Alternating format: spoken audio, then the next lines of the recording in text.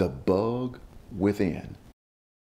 Jesus says in Matthew 15 11, It's not what goes in a man that defiles him, but what comes out that defiles him. The problem isn't external, but originates internally. The problem isn't environmental, it's nature.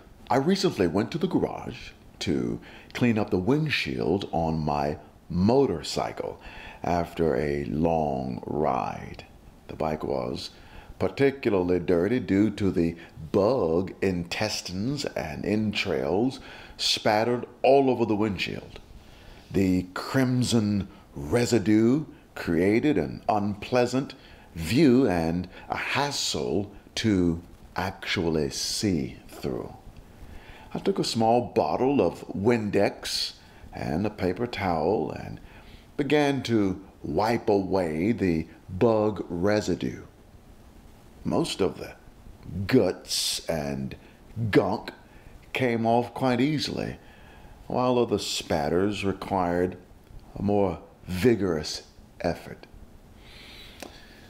One spot in particular seemed impervious to my efforts. I wiped and wiped, I scrubbed and re scrubbed, all to no avail. I took a step back, both physically and strategically. Perhaps I'm approaching this all wrong.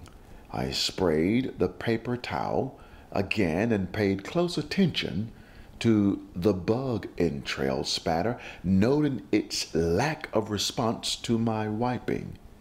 Next, I went around to the other side of the windshield and gave it a casual wipe. Curiously, the bug spatter responded immediately. It started to come off. The entire time I was in front of the windshield wiping when the problem of the bug spatter was on the inside of the windshield. Hmm. Sometimes we refer to sickness as a bug. This is much like some of the situations we're trying to fix now, this racial tension and such in the country. Well meaning activists, concerned, and compassionate people have taken to behavioral modification, um, bottles of Windex, and applied it to the outside of human activity, proposing new policies and legislating additional laws. But the problem, the bug, remains impervious to these outside actions.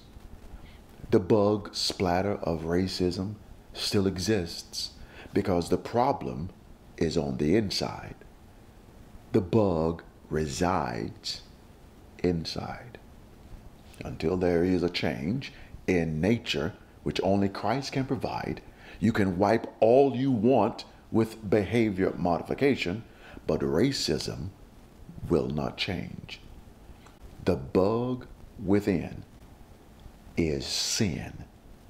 And the only way its residue can be wiped away is by the application of Christ's death on the cross applied to the individual sinner.